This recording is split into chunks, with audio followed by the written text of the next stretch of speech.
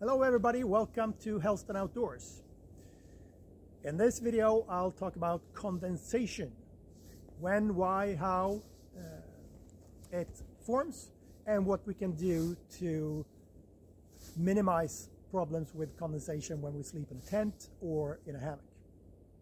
At the end I will talk about our hammock, the Helsdon hammock, and what we have done to minimize condensation problems in our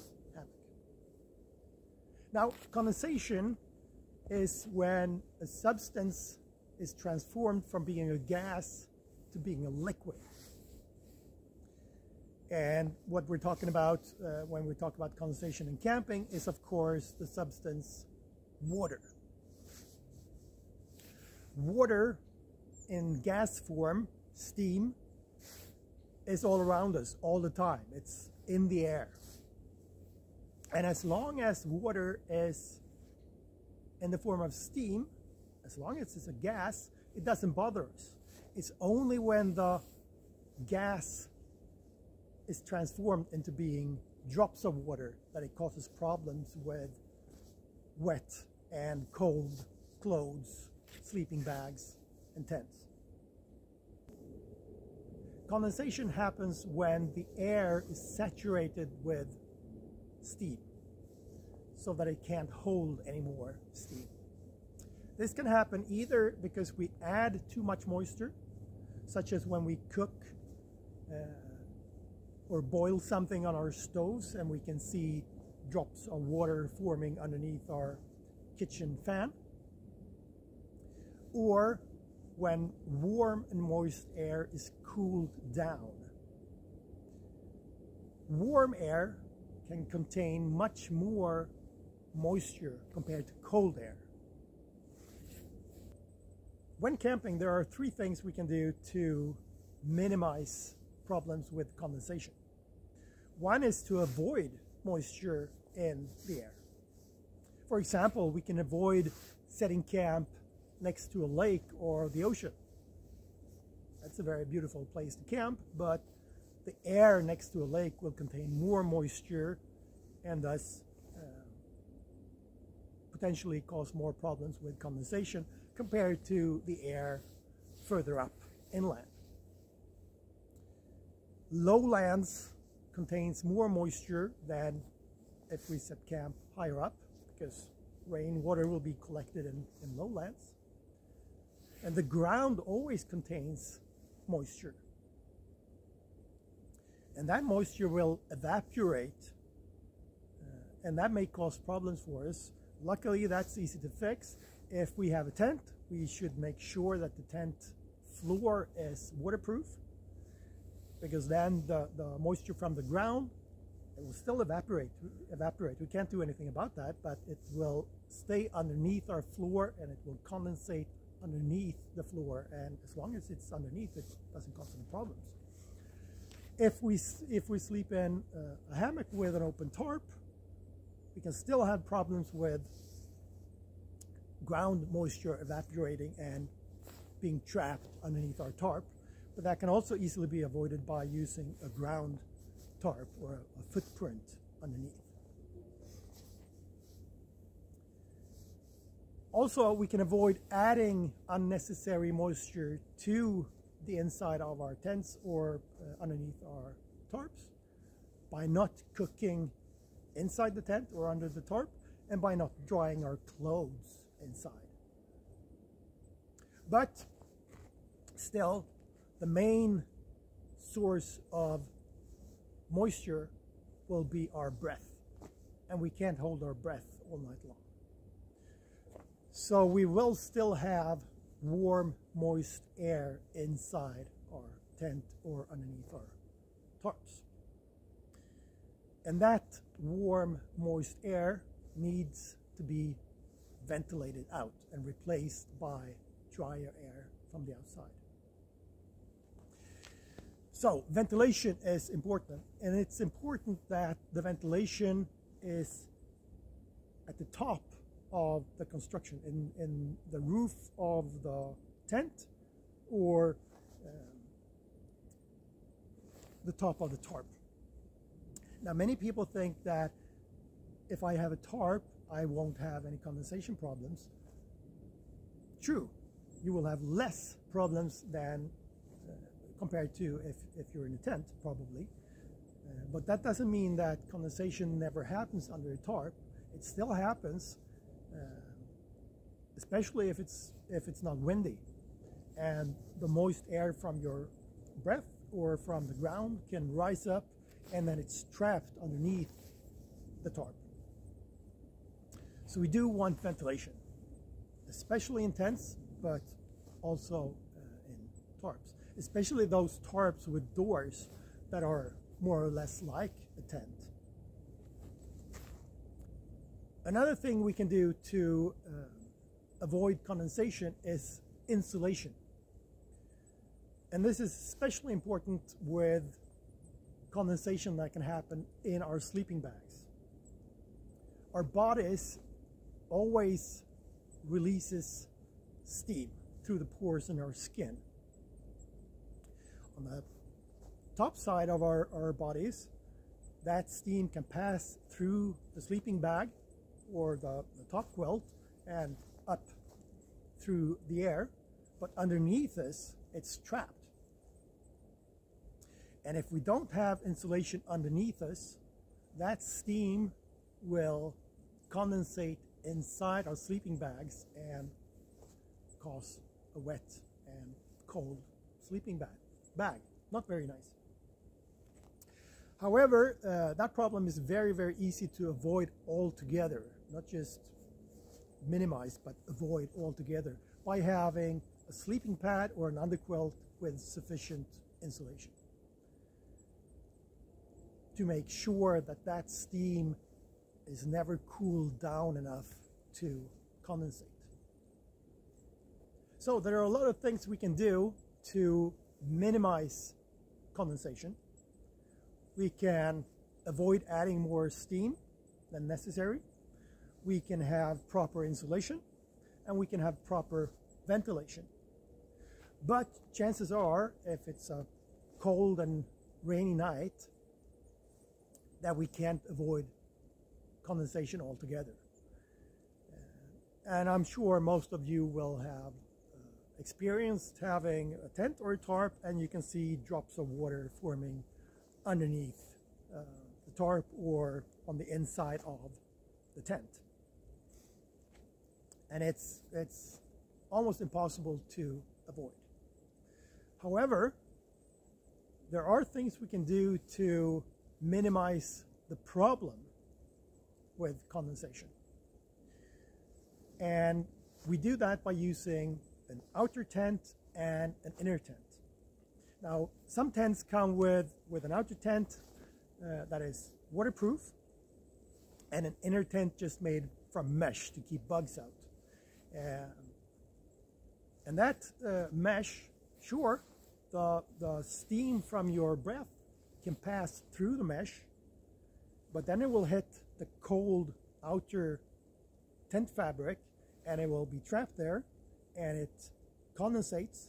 And then when the, the drops of condensation becomes big enough and heavy enough or if a gust of wind uh, hits uh, the tent they will drop and if the inner tent is just made from mesh it will just fall right through uh, the inner tent and then down on you which is something we will we want to avoid now some tents come with uh, an inner tent that is diffusion open, which means that steam can pass through the material, but it's still waterproof when it comes to water in liquid form. There are many different uh, materials that have this property uh, to let steam through, but to stop uh, water in liquid form. The most uh, well-known brand name is Gore-Tex, of course, but there are many other materials like this too. So, the steam from your mouth can pass through the diffusion open material in the inner tent. It hits the cold outer tent and condensation is formed on the outer tent on the inside and then when the drops fall they fall on the outside of the inner tent and then they run down the inner tent and away from you. So condensation forms, but it's not a problem. If the floor, of course, only goes to the inner tent. If the, if the floor extends all the way to the outer tent, then those drops will, of course, just drop down on the floor and we just trans transferred the, the problem from, from the roof to the floor. So it's important that the, the floor in your tent only extends to the inner tent. Now, diffusion open materials are really expensive and, and lots of tents don't have them. Uh, so perhaps you just have two waterproof uh, fabrics, one outer tent in the outer tent and one in the inner tent. And that's fine too, as long as you have ventilation in the inner tent as well. Um, and as long as, as the ventilation holes in the inner tent and the outer tent don't overlap, so that rain can pass right through, that's just fine. So as long as they're, they're placed side by side, then steam from your breath can go up and out through the ventilation hole in the inner tent and then out through the ventilation hole in the outer tent. So to summarize, don't add unnecessary steam by cooking food or drying clothes inside your tent or under your tarp. Make sure that you have proper ventilation and the ventilation should be on top because that's where your warm, moist breath will go. Use proper insulation underneath you so that the steam from your body doesn't condensate inside your sleeping bag. And use a tent or a tarp with double layers so that moisture can go up and then condensate on the colder outer tent fabric. And when the when the drops fall they fall on the outside of the inner tent and they run down and away from you. So what have we done with the Helsdon hammock to uh, minimize problems with condensation? Well, first of all, the hammock is double layered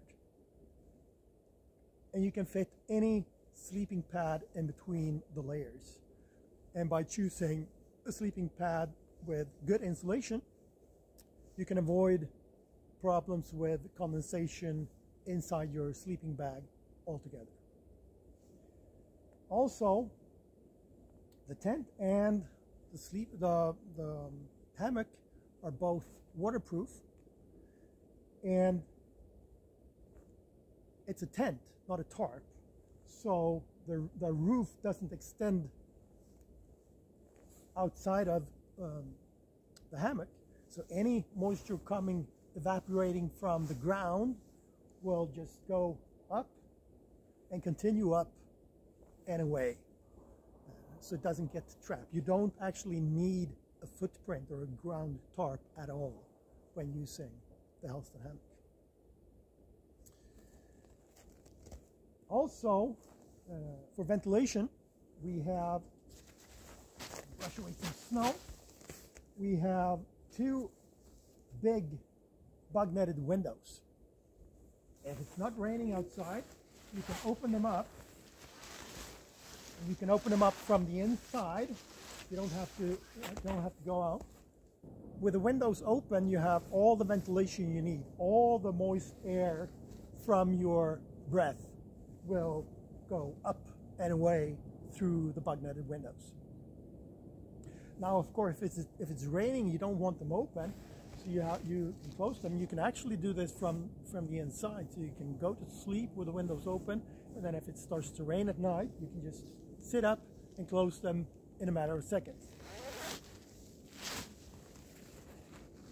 You can still, if it's just a light rain, you can, you can leave the sides open.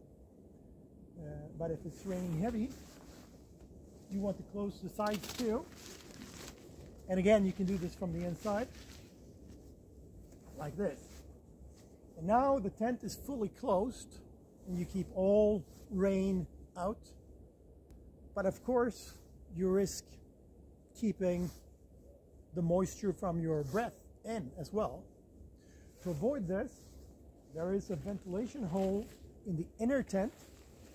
I'm not sure if it will show up on the video, but up here, right about where you have your head, there's a ventilation hole that allows moisture from your breath to go up and then out through the bug netted windows. Rain will not come in here because those holes don't overlap. And the ventilation up here at the ridge line can be adjusted so you can open it up more or less depending on how much ventilation you need. But still, if it's if it's a cold and rainy uh, night, condensation may still form. And if it forms, most of it will form on the coldest surface. And the coldest surface will be the inside of the outer tent. So condensation may form here. And when the drops fall, because of wind or because they become too heavy, they will drop down on the outside of the inner tent and then run down the inner tent and underneath the hammock and then fall on the ground.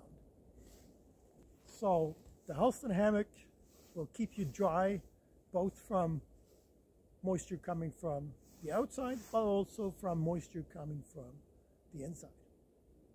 Happy camping!